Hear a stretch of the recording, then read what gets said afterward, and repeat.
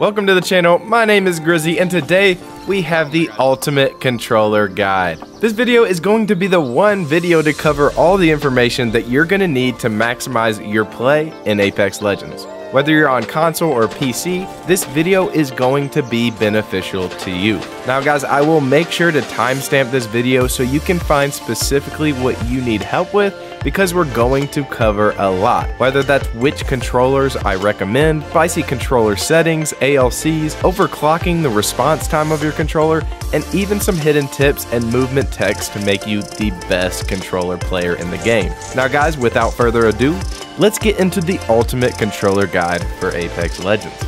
See ya! Go!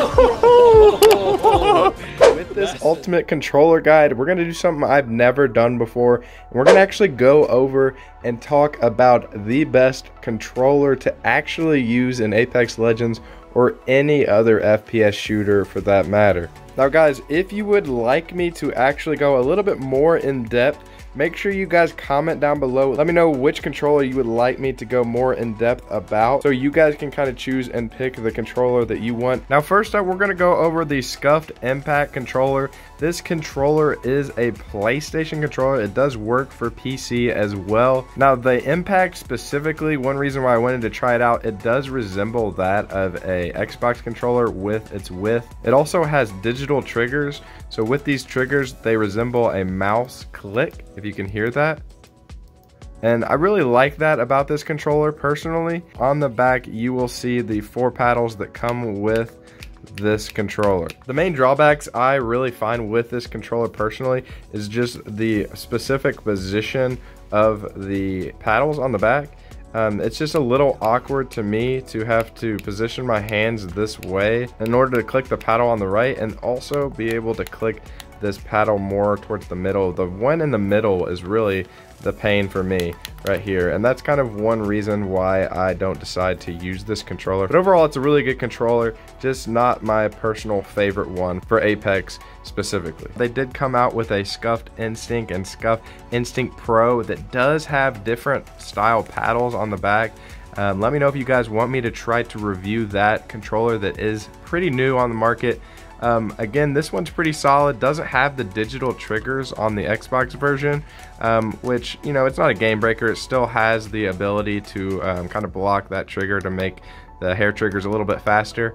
Um, but other than that, same thing with this controller. The paddles are just not really positioned in my favorite location. If you guys do want to button map, it is really easy on Scuff controllers. You know, you just use uh, kind of this electromagnetic mapping, um, throw it on the back, change you know whatever button you want these paddles to be. Um, and it really helps out to kind of crouch spam and get some really good movement with controller. We have the fusion controller. I got this one to try it out and i think this is a good budget friendly option.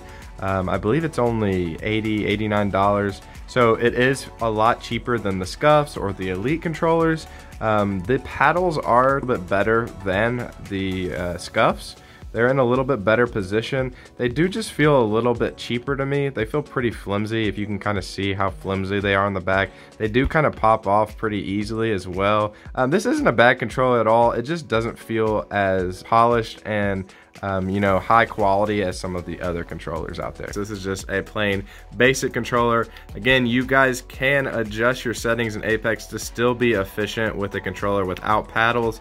Um, I just recommend paddles. I've been playing with them for a while, really like them. But if you play claw, then you know a, a normal controller will do. But yeah, after that, let's get into the controller that I use. I specifically use the uh, Xbox Elite, but it's the Series 1. I prefer the Series 1 over the Series 2, mainly because I'm a little funky. I like the Series 1 large paddles and then the Series 2 small paddle. So I put the Series 2 small paddle um, on the top right and then I have the larger paddles from the Series 1 on the bottom. I've been using this um, ever since the Xbox Elite Series 1 controller came out. Um, it's very responsive. Uh, really love this controller. Don't have much bad things to say about it.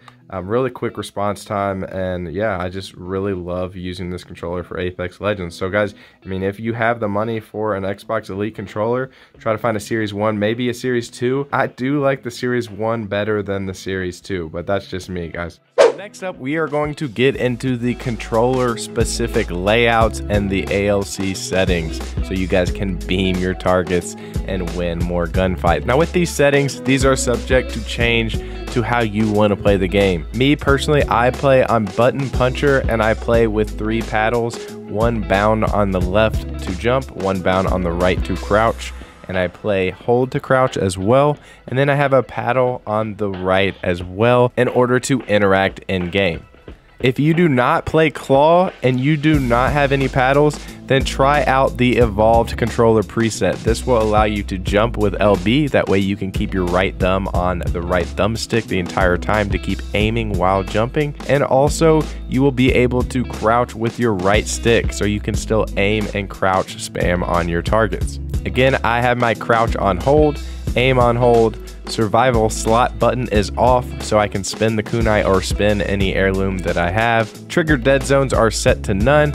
Menu cursor speed is set to 9 clicks. One, two, three, four, five, six, seven, eight, nine. That way I can get in boxes and I can armor swap as fast as possible. Now next up, I do use advanced look controls. I have a full video that explains what each setting is and how to adjust those settings to your specific preferences and how you want to aim. But for this specific video, I'm just going to show you guys my ALCs. So if you guys want to try them out and then try and change them to fit your playstyle, then go right ahead. So we got our dead zone at 10%, outer threshold at 2, response curve is at 6. My per optic settings are all at 1.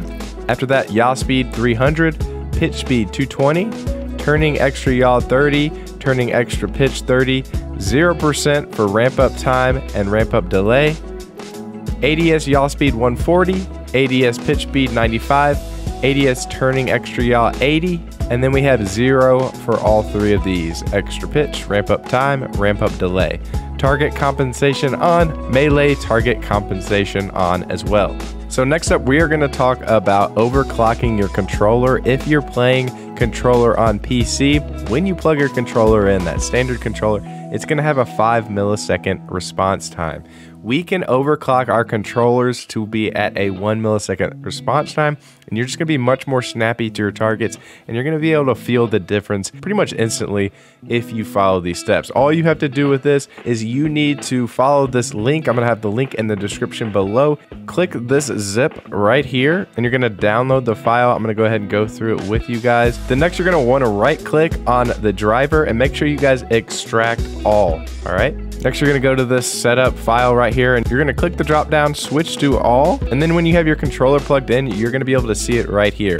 As you can see, I'm already at the one millisecond response time. I've already done this. Once you found your controller, you wanna click right here in the name and you want to click install service. After you click installed service for the first time, go over to the drop down, make sure it's set on a thousand, click a thousand, click install service again, and then you want to unplug your controller and then just plug it right back in. And then you will see if it worked. If it says yes, 1001 right here and it'll be green and highlighted all in green so you'll be ready to rock at that one millisecond overclocked response time. Next we're going to get into our movement techs and our advanced movement abilities with controller. We're going to get into things like tap strafing, super gliding, zipline tricks, wall bouncing, and moving while looting on controller. The first technique is to simply run at the box. It's really important to keep your right thumb on that analog so you can continue to look at the box and then you press your interact button while you're still sprinting. It also helps if you have auto sprint on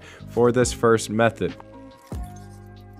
The second method is extremely important for armor swaps. This is going to be really crucial for you to have that interact button where you can access that and still have access to your right thumbstick so you can look at the box while you are in midair. With both of these clips, I'm jumping and I'm quickly grabbing the armor swap. Make sure that your analog speed, your cursor speed is pretty high so that you can make this swap in midair and it's going to be very beneficial in fights. Last but not least, the third method, this is how you move inside once you are in a death box. I was inspired by the GOAT himself, Snip3down. He picked up a pair of three pedals that you can utilize in your game today. I can have the link in the description below so that you guys can check these out on Amazon. They're pretty cheap. And what you can do with these pedals is you can bind the left one with A and the right one with D. And then I have the middle paired with R. That way I can reload if I'm facing a door without opening the door, or I can reload while I have a down squad mate right in front of me without having to revive that down squad mate. Face low. She's hella low. Dead. Over here? My god. We'll cover the bunny hop, and we can't necessarily do this as well as mouse and keyboard players. They can heal a little bit better with this, but you can still heal and do this, and it's going to give you a little more momentum and a little more distance when you're trying to get away and get to cover. You can use this when you're trying to heal. You can also use this trying to be aggressive to push enemies so you do not lose your momentum and so your weapon is still out. In order to perform the bunny hop, you simply hold down the crouch button so for me, it's my right paddle, and then all you have to do is press A as soon as you make contact and continue to hit A as soon as you're making contact with the ground. You can also use your right analog stick to kind of control your direction of your bounce. Next up, we have the wall jump or the wall bounce, and what you're gonna wanna do with this technique is slide into the wall and then once you make contact with the wall, you're gonna wanna be facing the wall or facing the object you're using. You wanna stop movement with your left analog and then you want to spam the jump button. Right after you spam the jump button, turn your right thumbstick where you want to go and that will send you the direction that you are wanting to travel. Next up, I'm going to cover a couple movement techs with zip lines. So with a vertical zip line, you can simply hit X or your interact button and then double tap jump in order to get a super jump. So a normal jump off a zip line is just going to take you this far, interact and then spam A twice you're going to go much further with the super jump. This can also be applied with horizontal zip lines as well in order to get high ground or be a very difficult target to hit. So once again, I'm just hitting X and then tapping A twice.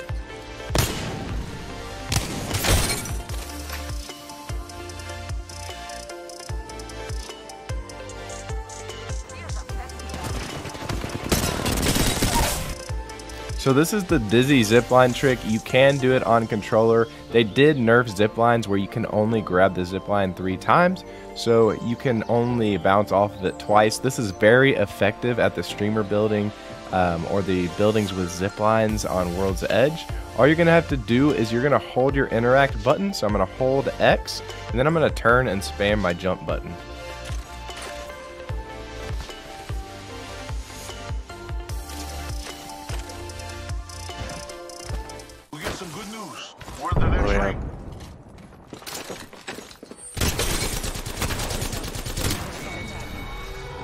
Order to pull off this super glide, once you hit the peak of the climb, all you're going to do is either move your left stick forward, left or right, and press and hold crouch and jump at the exact same time. Now I'm going to show you guys some examples of me performing this technique while showing my controller inputs and also while showing the game in first person and in third person and I will also show a hand cam in case that helps as well. Now if you're trying to practice this technique in third person you will know you get this technique down and that you successfully performed a super glide if your character kicks out both of their knees and knee extension while they're in midair. So guys, walk up to the ledge, A to climb, and then at the peak of your climb, hold A and crouch at the exact same time. The easiest way to complete this is to use paddles on the back of your controller. Next, we're going to get into how to tap strafe on controller on PC. What you want to do here is you want to go to your library, click on Apex Legends, go over to Manage, make sure you go down to Properties, once you go to properties, scroll down to controller, and then click this link right here for controller general settings. After clicking that link, make sure you have guide button focuses steamed as checked, the Xbox or the PlayStation controller you are using as checked, and that it's detected as well. Now we can close this out and return back to Steam. Once we go into Steam, we can go and we can manage with controller configuration. In order to tap strafe in two different directions, you're gonna have to give up two buttons on your controller. Now for me, I gave up down on the directional D-pad, which is the emote option. And also in game, I use auto sprint. So I changed my left stick click as the other button that I gave up. So the next step you're going to want to do is if you're changing down on the D-pad to one of the inputs, you want to bind D and W to down on the D-pad. After binding D and W both on the D-pad, you need to add the activator. Make sure you have hold to repeat turbo on and then max out the repeat rate. After this, let's go to the next button that we are giving up, which is the left stick click. So we're gonna have the style of input as joystick move output left joystick, and the click action is A and W. Now with A and W, again, you're gonna add that activator, you're gonna hold to repeat turbo and increase that repeat rate all the way up. Now when I pull up my Xbox Elite controller, you can see I've mapped down on the D-pad as my right paddle and left stick click as my left paddle. Now you've changed your inputs, it's time to perform the tap strafe. So getting around corners without the tap strafe will look like this.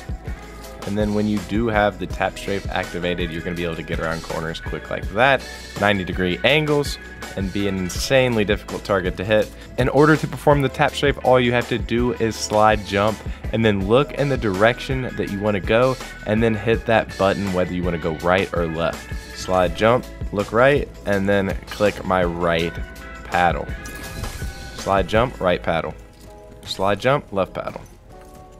This is really easy to pull off and it's going to help you guys to be a lot more difficult to hit when you're being chased, when you're trying to run around corners, and when you're trying to style on your enemies. Alright guys, I hope you all enjoyed this complete controller guide. Guys, make sure to like and subscribe to the video. My name is Grizzy, and I'm going to be coming out with way more content for you guys in Apex Legends Season 10 and far beyond Season 10 as well. So make sure you subscribe to the channel. Thank you so much for watching, and I'll see you guys in the next video. Peace!